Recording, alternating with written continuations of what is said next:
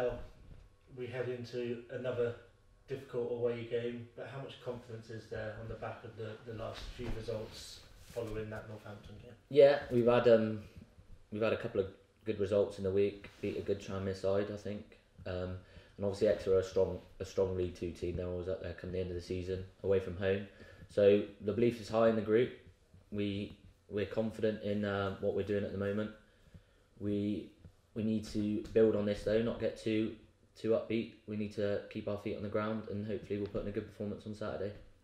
Heading into this little run of games, starting with Cheltenham, then two tough games in the teams in the top six, league leaders.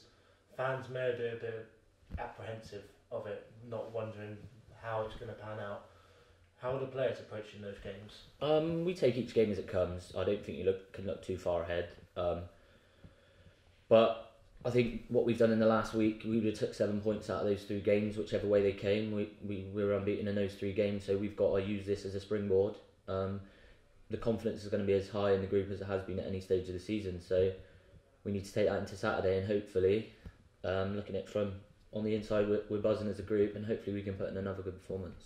Away form this season as well has been fantastic. I think second in League Two overall. I think only Saturday's host Lincoln are, are higher uh, by a point. What do you put that down to? How why why is away form being being so consistent? I'm not so sure. I think as a group we've, uh, from what I can remember, we've gone away and we we've controlled a lot of away games, and there could probably be some more points which we've we've let slip. Um, as to why it's worked so well, I don't know. We've we've gone to some tough places and ground out some really good results. Um, which, but that all that tells me is our home form's not been not been where it should be. So maybe looking looking at targets, we should try and convert our home form and make that one of the strongest in the league. And then who knows where we'll end up in the league.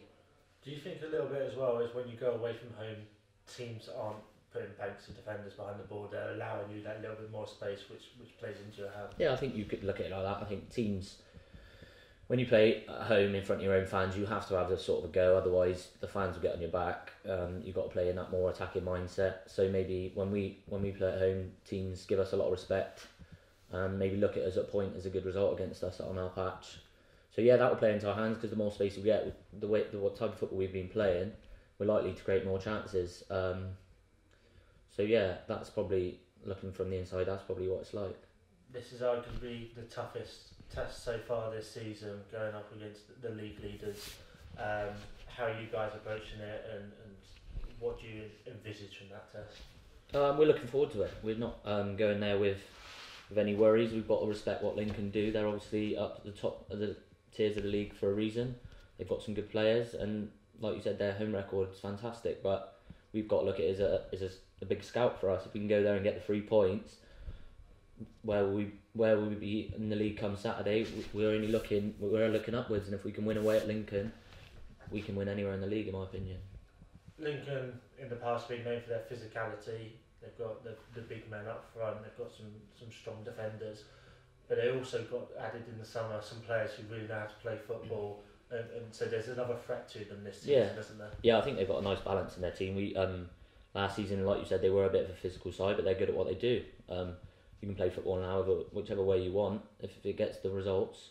Um, but yeah, I think they've added some good some good footballers as well, so they can mix mix their game up well, which will make them a harder proposition than than maybe they were last season, and that's why they're at the top of the league. We've got to respect what they do, um, but I feel we've got the players who can look after their threats, and hopefully we can impose ourselves on them.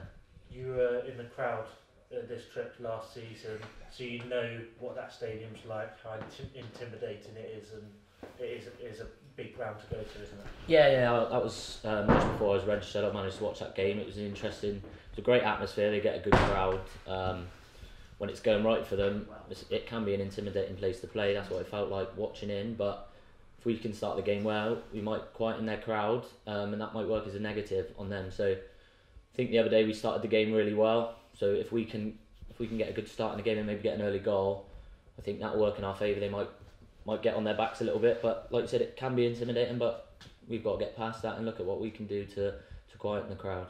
Yeah, that has been key in the last couple of games, I think, getting on the front foot early doors, scoring those goals early to, to really impose yourself, which is something maybe we haven't done previously. Yeah, I think the way we play, if if you can get a goal against any team, they've got to come out and um, maybe push more men forward and have a bit more of an attacking attacking threat in the game. So I think when we get the early goal, it is tough for teams, but it's about getting that second goal so we don't just rest on um, scoring one goal. That was what was was made important to us the other day. That second goal really killed that game for us at Exeter. So I think starting well has been key, but it's also keeping that going until the end of the game. Yourself personally, back in the starting 11 the last few games, 10 goals now since you joined in January for this season. How are you enjoying the football? Yeah, um, obviously I spoke to you early on in the season and when I wasn't in the team. Um, I said I just had to keep working hard, um, keep doing my stuff in training when I get a chance, try and perform. And the gaffer's shown faith in me in the last few games. Obviously, I'm happy. I, I'm ambitious. I still want to. I still want to add more to my game. I haven't scored in the last few games, and when I don't score, it's sort of a. I'm not doing as well as I should, but the, the main thing is the team winning. So when you're not scoring, but the team's winning, you're not too worried about it. But I'd like to uh, contribute a bit more in, in the next few games if, if I'm given the chance. The chances are there, aren't there? Against Exeter, you had a couple in the box, so it's just about finding that clinical. Yeah, I think it suppose. comes when you get a couple of um, games without scoring. Maybe you start snatching at things you, which you wouldn't in other games. But like I said, I had a couple of um, chances at Exeter which got blocked. On another day, they might have gone in. So hopefully, I'll just keep working hard, and the goals will come. But as long as the results are coming, I don't mind who scores the goals. In the top six of the division, the the team seem really buoyant when you come down to training. Everyone seems to be enjoying themselves at the moment. It must be a great feeling. Yeah, the mood's of. the mood's brilliant in the camp. Um, we're happy with what we've achieved so far. Um, we're ambitious, though. We think there are a lot of points we've dropped. So who knows where we could have been if we hadn't made those maybe mistakes or not been clinical in some games. But we're not going to rest on our laurels. Sixth is is good so far, but that's not what we want to end up. We're ambitious. We want to try and finish as high up as we can, but that's going to take hard work, and we're we're all ready for it.